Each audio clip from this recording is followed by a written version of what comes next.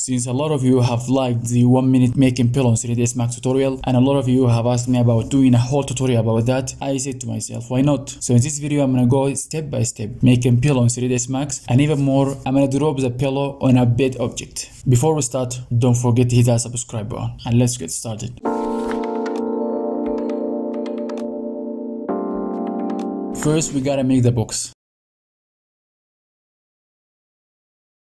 You can determine the links width and height as you like.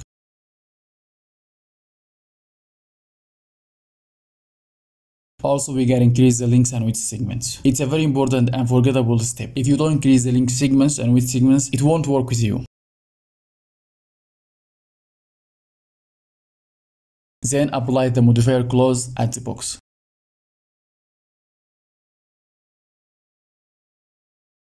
Go to Object Properties, Select the box that you want to turn it into a pillow. Then choose the cloth option and choose the preset cotton. You can choose anything as you want. Then increase the pressure. As long as you increase the pressure, the pillow will look fatty. After that, press OK. If you don't want it to fall down on a surface or so, just deactivate the gravity, then press Simulate Local.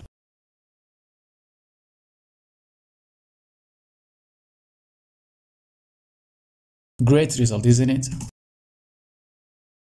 So, if we want it to look a little bit melty, we can decrease the pressure a little bit like this.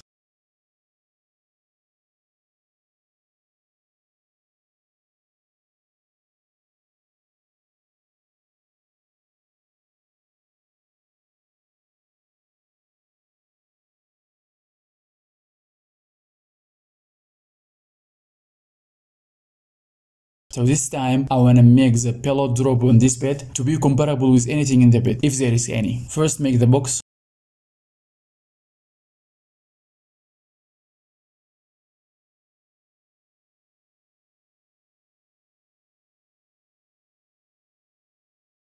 Determine its dimension.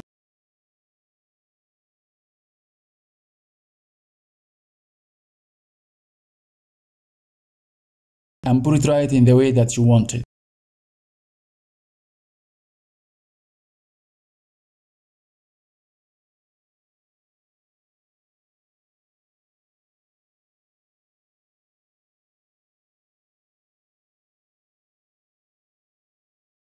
Then shift it up a decent amount of a distance.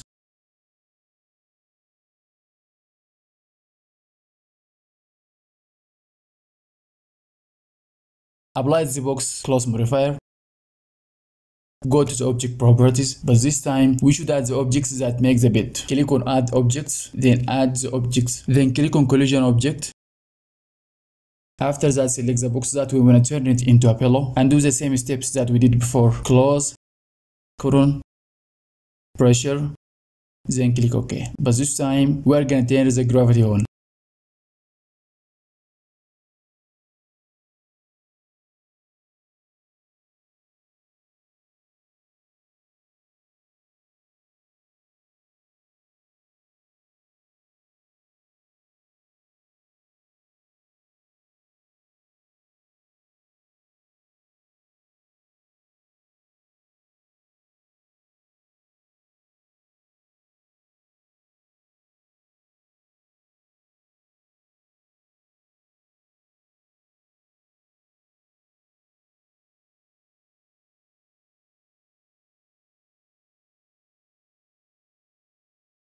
If you want the pillow to look more smoothie, convert it to a editable poly and give it mesh smooth.